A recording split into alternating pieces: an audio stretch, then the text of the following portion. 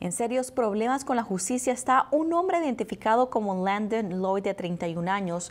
Lloyd fue arrestado el lunes 28 de marzo por la noche después de disparar un arma contra un policía estatal de Arkansas en el condado de Pope. Se le acusa de intento de asesinato capital y se le impuso una fianza solo en efectivo de un millón de dólares. También se le ordenó al sujeto que comparezca en una audiencia de lectura de cargos que se llevará a cabo en una fecha posterior en el Tribunal del Circuito del Condado de Pope en el Palacio de Justicia de ese condado.